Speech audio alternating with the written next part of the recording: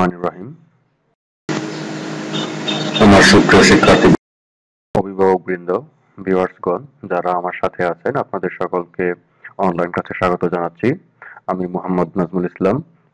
বিষয়ের প্রভাষক, আলিমুদ্দিন জুবেদা কলেজ, কাইতলা, নবীনগর, ব্রাহ্মণবাড়িয়া।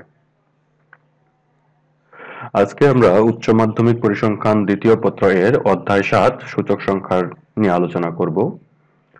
তো এই অধ্যায়টি আমরা ক্লাসে শেষ করব। প্রথম ক্লাসে থাকবে সূচক সংখ্যা সম্পর্কে কিছু বিস্তারিত বর্ণনা এবং দ্বিতীয় ক্লাসে থাকবে দুটি গাণিতিক সমস্যার সমাধান। আজ আমরা যে বিষয়গুলো নিয়ে আলোচনা করব সূচক সংখ্যা কি এবং তার বৈশিষ্ট্যগুলো আলোচনা করছি। সূচক সংখ্যা নির্ণয়ের পদ্ধতি সূচক সংখ্যার বিভিন্ন পরীক্ষা মূল্যমান সূচক সংখ্যার ধারণা আদর্শ সূচক সংখ্যার বৈশিষ্ট্য একটি সূচক সংখ্যা একটি দেশের অর্থনৈতিক বেরোমিটার বলা হয়। এটির ব্যাখ্যা, সূচক সংখ্যা নির্ণয়ের কিছু পদ্ধতি এবং জীবনযাত্রা ব্যয় সূচক সংখ্যা কি এর ধারণা। এই বিষয়গুলো আজকে আমরা ক্লাসে আলোচনা করব। তো সকল শিক্ষার্থীকে আজকের ক্লাসে মনোযোগ দিয়ে কথাগুলো শোনার এবং বোঝার জন্য অনুরোধ করছি। তাহলে চলে যাচ্ছি আজকের ক্লাসে সর্বপ্রথমেই থাকছে সূচক সংখ্যা এবং তার বৈশিষ্ট্য। সূচক সংখ্যা আসলে একটি আনুপাতিক সংখ্যা, অর্থাৎ একটি অনুপাত প্রকাশ করে থাকে। আর এই অনুপাত যে প্রকাশ করে একটি অনুপাতিক সংখ্যা, সেটি হচ্ছে একটা পরিসংখ্যানিক পদ্ধতির মাধ্যমে আমরা নির্ণয় করি। তাহলে এটি হচ্ছে এমন একটি পরিসংখ্যানিক পদ্ধতি যেখানে একটি আদর্শ সময় বা স্থানকে বৃত্তি বছর ধরে অন্য একটি স্থান বা সময়ের ভিত্তিতে আমরা অনুপাতগুলো নির্ণয় করে থাকি। কিসের অনুপাত নির্ণয় করে থাকি? একটি অর্থনৈতিক রাশিমালার। তো অর্থনৈতিক রাশিমালা কিনগুলো হতে পারে। অর্থনীতির সাথে সম্পর্কিত যতগুলো রাশি আছে, সবগুলি হচ্ছে অর্থনৈতিক রাশিমালা। যেমন মূল্য হতে পারে, ক্রয় মূল্য, বিক্রয় মূল্য হতে পারে, উৎপাদিত পণ্য হতে পারে, উৎপাদিত পণ্যের খরচ হতে পারে, বিভিন্ন ভোগ্য পণ্য হতে পারে, বিভিন্ন সেবা হতে পারে, এই সবগুলি হচ্ছে অর্থনৈতিক রাশিমালা। তাহলে আমরা কি বলতে পারছি যে পরিসংখ্যানিক পদ্ধতির সাহায্যে কোনো একটি আদর্শ সময় বা স্থানকে ভিত্তি ধরে ওই সময় বা স্থানের সাপেক্ষে অন্য কোনো সময় বা স্থানের কোনো অর্থনৈতিক রাশিমালার আপেক্ষিক পরিবর্তনকে শতকরা প্রকাশ করলে যে বিশুদ্ধ সংখ্যা পাওয়া যায় সেটি হচ্ছে সূচক সংখ্যা। হ্যাঁ এখানে একটি অবশ্যই আবশ্যিক বিষয় হচ্ছে যে একে সূচক সংখ্যাকে অবশ্যই শতকরা প্রকাশ করতে হবে। আর এটি একটি একক বিহীন বিশুদ্ধ সংখ্যা, অর্থাৎ এর কোনো একক নেই, শুধুমাত্র সংখ্যায় সূচক সংখ্যাটি প্রকাশ হয়ে থাকে। তাহলে এখন আসি আমরা এর বৈশিষ্ট্যগুলো কি? সর্বপ্রথম যে বৈশিষ্ট্যটি হচ্ছে, সেটি হচ্ছে যে সূচক সংখ্যা একটি বিশেষ ধরনের গড়। আর এটি ভারযুক্ত গড় ব্যাপকভাবে বৃহৎ অর্থাৎ আমরা যে সূচক সংখ্যাটি নির্ণয় করছি, সেটি হচ্ছে এক ধরনের গড়। আমরা এর আগে গড় নির্ণয় করা শিখেছি, সেই ধরনেরই একটি গড়। তবে এই ক্ষেত্রে বেশিরভাগ ক্ষেত্রে আমাদের ভারযুক্ত গড়টাই বেশিরভাগ ব্যবহৃত হয়ে থাকে। দ্বিতীয় অর্থ আসছে একক। সূচক সংখ্যা হচ্ছে এককটি আনুপাতিক সংখ্যা, আর তাই এটি একটি একক মুক্ত বিশুদ্ধ সংখ্যা, অর্থাৎ সূচক সংখ্যার কোনো একক নেই। তারপরে আসছে শতকরা। এই সূচক সংখ্যাকে শতকরায় প্রকাশ করা হলেও এই সূচক সংখ্যার পাশে কিন্তু আমরা কোনো সময়ই শতকরা চিহ্নটি ব্যবহার করি না। তারপরে আসছে তুলনা যে বিভিন্ন ভিন্ন এককের যদি কোনো দ্রব্য থাকে যাদের একক ভিন্ন, এদের মাঝেও এই সূচক সংখ্যা দ্বারা তুলনা করা যায়। আর ব্যবহারের ক্ষেত্রে যদি বলি, তাহলে বলতে হয় যে সব বৈশিষ্ট্য সরাসরি পরিমাপ করা যায় না। তাদের ক্ষেত্রেও এই সূচক সংখ্যা ব্যবহার করা যায়। এখন আমরা দেখি যে সূচক সংখ্যার আসলে একক নেই কেন। আমরা প্রথমে বলেছি যে সূচক সংখ্যা হচ্ছে একটি আনুপাতিক সংখ্যা, একে শতকরায় প্রকাশ করা হয়ে থাকে এবং কিছু অর্থনৈতিক রাশিমালার ক্ষেত্রে আমরা সূচক সংখ্যাগুলো সাধারণত ব্যবহার করে থাকি। তাহলে এই যে বললাম, এটি হচ্ছে একটি আনুপাতিক সংখ্যা, অর্থাৎ দুইটি দ্রব্যের পরিমাণ অথবা তার মূল্যের একটি আরেকটিকে ভাগ করা। তো আমরা যখন একটি বিষয় আরেকটি বিষয়কে একই এককের যদি থাকে, তখন যদি আমরা তাকে ভাগ দেই, তাহলে যে তার একক উপরে নিচে থাকে, সেটি কাটা যায়। তো এই কারণে এই সূচক সংখ্যার আসলে কোনো একক থাকে না। এটি শুধুমাত্র একটি শতকরার হার নির্দেশকারী সংখ্যা। এখানে এই কথাটি বলা হয়েছে যে যে এটির হর ও লবে একই একক থাকায় ইহা একক মুক্ত হয়। সুতরাং সূচক সংখ্যা একটি একক মুক্ত বা একক বিহীন অথবা বিশুদ্ধ সংখ্যা। এখন আমরা দেখি সূচক সংখ্যা নির্ণয়ের পদ্ধতি। সর্বপ্রথম সূচক সংখ্যা নির্ণয়ের পদ্ধতি জানার আগে আমাদের জানতে হবে আসলে সূচক সংখ্যা কত ধরনের হয়ে থাকে। সূচক সংখ্যা তিন ধরনের। একটি হচ্ছে মূল্য সূচক সংখ্যা, পরিমাণ সূচক সংখ্যা এবং মূল্য মান সূচক সংখ্যা। তবে আমি যদি বলে থাকি যে শুধুমাত্র সূচক সংখ্যা, তাহলে সাধারণত সূচক সংখ্যা বলতে আমাদের এই মূল্য সূচক সংখ্যাকেই বোঝানো হয়ে থাকে। এই প্রত্যেকটি সূচক সংখ্যা আবার দুই ধরনের। একটি হচ্ছে সাধারণ সূচক সংখ্যা, আর একটা হচ্ছে ভার আরোপিত অথবা ভার যুক্ত সূচক সংখ্যা। অর্থাৎ এই দুই ধরনের পদ্ধতিতে আমরা সূচক সংখ্যাগুলো নির্ণয় করতে পারি। সূচক সংখ্যা, এই নির্ণয়ের যে পদ্ধতিগুলো রয়েছে, সেখানে দুইটি পদ্ধতি। একটি হচ্ছে সাধারণ সমষ্টি পদ্ধতি সিম্পল এগ্রিগেট মেথড আর একটি হচ্ছে সাধারণ গড় পদ্ধতি সিম্পল এভারেজ মেথড অর্থাৎ সাধারণ সমষ্টি পদ্ধতিতে আমরা শুধু যোগ দিয়ে কাজ করি। এই কারণে এটি হচ্ছে সমষ্টি পদ্ধতি। আর সাধারণ গড় পদ্ধতিতে আমরা এক ধরনের গড় তৈরি করি। এই কারণে এটি হচ্ছে সাধারণ গড় পদ্ধতিতে। এখন এই সাধারণ সমষ্টি পদ্ধতি এবং সাধারণ গড় পদ্ধতিতে দুইটার ক্ষেত্রে আমরা আবার এই সাধারণ সূচক সংখ্যা এবং ভাড়ারোপিত সূচক সংখ্যা দিয়ে মানগুলো আমরা নির্ণয় করতে পারি। এখন আমরা দেখি যে সাধারণ সূচক সংখ্যার ক্ষেত্রে আমাদের কীভাবে সূচক সংখ্যাগুলো নির্ণয় করতে হয়। একটি হচ্ছে বলছিলাম যে সাধারণ সমষ্টি পদ্ধতি। যদি সাধারণ সমষ্টি পদ্ধতিতে আমরা সূচক সংখ্যা নির্ণয় করি, আর আমরা আগেই বলেছি যে সূচক সংখ্যা বলতে সাধারণত সহজভাবে আমরা মূল্য সূচক সংখ্যাকে প্রকাশ করি। আর মূল্যর ইংরেজি প্রতিশব্দ আমরা জানি প্রাইস এই প্রাইসের প্রথম অক্ষর ক্যাপিটাল পি দিয়ে প্রকাশ করা হয়। এখানে একটা হচ্ছে ও আর একটা হচ্ছে এন এই ও দিয়ে ভিত্তি বছরকে বোঝানো হয়, অর্থাৎ আমরা যার সাপেক্ষে সূচক সংখ্যা নির্ণয় করছি আর এন হচ্ছে চলতি বছরকে বোঝানো হয়, অর্থাৎ বর্তমান যে সময়টা রয়েছে সেটি বোঝানো হয়। এটি হচ্ছে আমাদের এই সূচক সংখ্যা প্রকাশের এভাবে আমরা সূচিত করে থাকি। তো এই সাধারণ সমষ্টি পদ্ধতিতে অনুপাতের উপরের দিকে থাকবে চলতি বছরের দ্রব্যের মূল্যের সমষ্টি এবং নিচে থাকবে বৃত্তি বছরের মূল্যের সমষ্টি। আর তাকে যেহেতু আমরা সূচক সংখ্যাকে শতকরায় প্রকাশ করতে হয়, এই কারণে আমরা তাকে একশো দিয়ে গুণ দেব। আর আপেক্ষিক মূল্য যদি আমরা সাধারণ গড় পদ্ধতিতে নির্ণয় করি, তাহলে কি হবে? যে এখানে আমরা দুইটি গড় দেখাচ্ছি, একটা হচ্ছে এরিথমেটিক মিন অর্থাৎ গাণিতিক গড়, আর একটা হচ্ছে জিওমেট্রিক মিন অর্থাৎ জ্যামিতিক গড়। যেহেতু এটি একটি গড় পদ্ধতি, তাহলে এই দুইটি ভিত্তিতে, দুইটি গড়ের মাধ্যমে আমরা এটি নির্ণয় করতে পারি, এতে আমাদের কোনো সমস্যা নেই। তবে সাধারণ এই গড় পদ্ধতি যদি আমরা সরল গাণিতিক গড় নির্ণয় করতে চাই, তাহলে হবে এরকম সামেশন পিএন ভাগ পি জিরো ইন্টু হান্ড্রেড তাকে ভাগ দিব ক্যাপিটাল এন দিয়ে, যেখানে এই ক্যাপিটাল এনটা হচ্ছে আমাদের নির্বাচিত আমরা অর্থাৎ যতগুলো পণ্যের সূচক সংখ্যা নির্ণয় করতে চাই, সেই মোট পণ্যের সংখ্যা প্রকাশ করে হচ্ছে এই এন দিয়ে।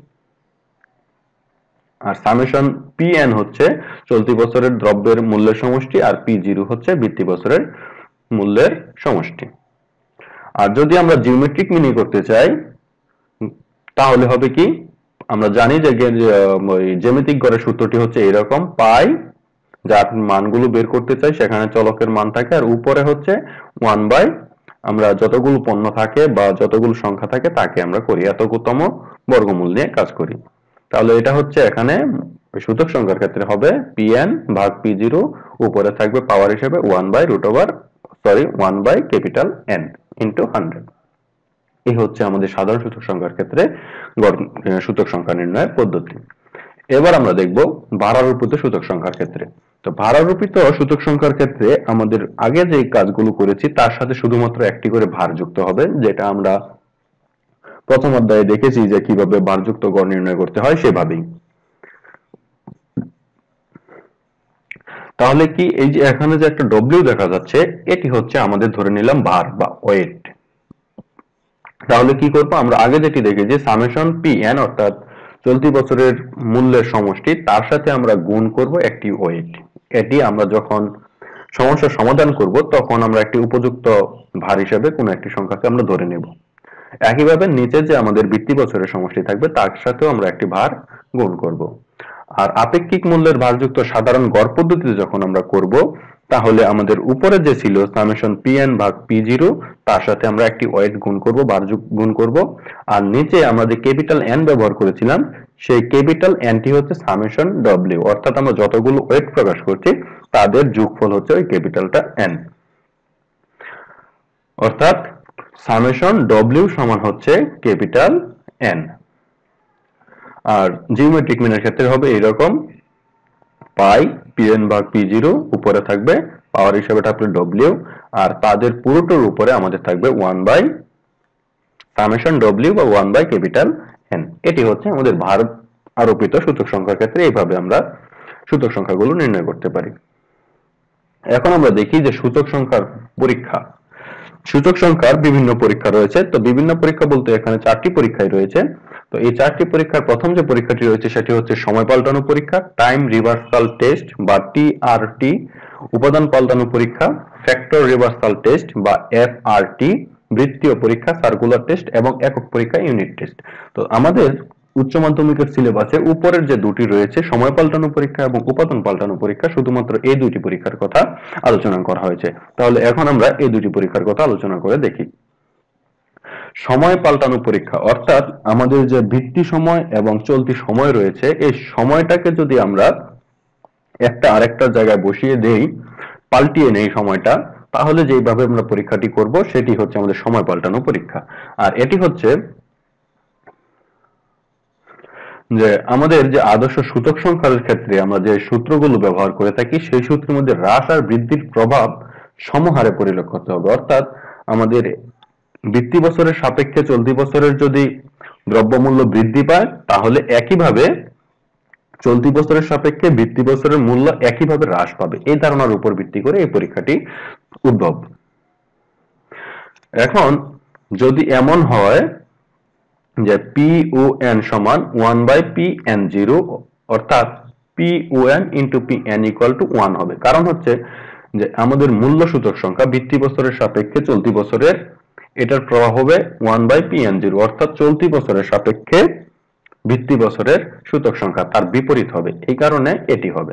আর যদি আমরা প্রমাণ করতে পারি যে এইরকম কোন একটি সূচক সংখ্যা সূত্র এইরকম হয়েছে, সে এই, এটি প্রকাশ করছে, তাহলে আমরা ধরে নিব যে এটি সময় পাল্টানো পরীক্ষায় উত্তীর্ণ। এটিকে যদি আমরা আর গুণ করি, তাহলেই এই এই কথাটি চলে আসছে। যে P O N into P N zero equal one অর্থাৎ আমরা যদি এটিও প্রমাণ করতে পারি তাহলে ধরে নিব যে এটি সময় পাল্টানো পরীক্ষায় উত্তীর্ণ হয়েছে। এবার আসি আমরা উপাদান পাল্টানো পরীক্ষায় উপাদান পাল্টানোর পরীক্ষাটা হচ্ছে যে আমাদের যে মূল্য সূচক সংখ্যা এবং পরিমাণ সূচক সংখ্যা। পরিমাণ সূচক সংখ্যাকে আমরা কিউ ও এন দ্বারা প্রকাশ করে থাকি। এখানে হচ্ছে কোয়ান্টিটি পরিমাণের যে ইংরেজি প্রতিশব্দ রয়েছে, তার প্রথম অক্ষর কিউ দিয়ে প্রকাশ করে থাকি। তাহলে এই P O N into Q N অর্থাৎ মূল্য সূচক সংখ্যার সাথে আমরা যদি পরিমাণ সূচক সংখ্যা গুণ করি, তাহলে এটি মূল্যমান সূচকের সমান হবে। আর এই মূল্যমান সূচককে আমরা ভি দিয়ে গুণ করি সরি ভি দিয়ে প্রকাশ করি, আর এই ভি ও এন সমান হবে summation P N Q N ভাগ পি জিরো কিউ জিরো এটি হচ্ছে আমাদের বি এন অর্থাৎ আমরা যদি কোনো একটি পণ্যের বা কতগুলো পণ্যের মূল্যমান সূচক সংখ্যা পিউ এন এবং পরিমাণ সূচক সংখ্যা কিউ এন মান বের করি, এদেরকে যদি গুণ করি, তাহলে এই মানের সমান হবে। তো কোন সূচক সংখ্যার ক্ষেত্রে যদি এরকম হয় যে P O N into Q N সমান হচ্ছে এন তাহলে আমরা ধরে নিব যে এই সূত্রটি উপাদান পাল্টানো পরীক্ষায় উত্তীর্ণ হয়েছে। এখন আমরা দেখি মূল্যমান সূচক সংখ্যা কি। মূল্যমান সূচক সংখ্যা হচ্ছে যে কোনো একটি পণ্যের চলতি বছরের প্রতি এককের মূল্য ও পরিমাণের গুণফলের সমষ্টিকে অর্থাৎ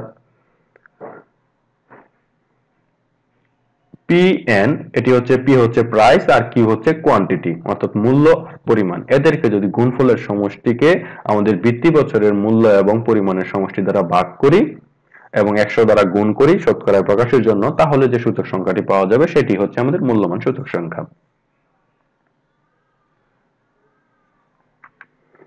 এখন আমরা দেখি আদর্শ সূচক সংখ্যার বৈশিষ্ট্যগুলো কি কি?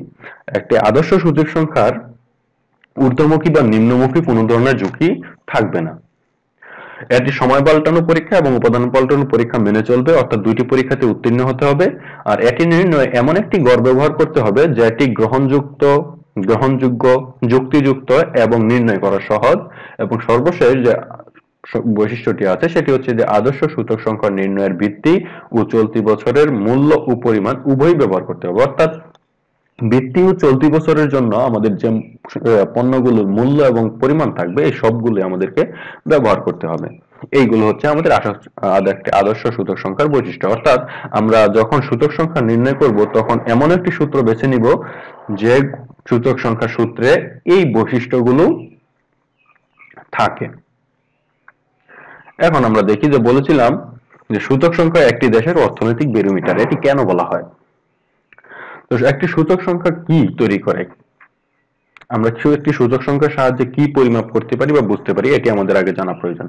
আমরা সংজ্ঞায় যে কথাটি বলেছিলাম যে একটি দেশের অর্থনৈতিক অবস্থার, যে অর্থনৈতিক রাশিগুলো রয়েছে, যেমন ব্যবসা বাণিজ্যের গতি দ্বারা শিল্প কারখানার উৎপাদন, কৃষি উৎপাদন, আমদানি, রপ্তানি, মুদ্রাস্ফীতি বা তারপরে রয়েছে ক্রয়, বিক্রয়, উৎপাদনের পরিমাণ, এই সবগুলি হচ্ছে আমাদের অর্থনৈতিক রাশিমালা। আর এদের চলতি বছর এবং বৃত্তি বছরের যে আনুপাতিক হার রয়েছে সাত শতকরায় প্রকাশ করে থাকি এটি হচ্ছে আমাদের একটি সূচক সংখ্যা।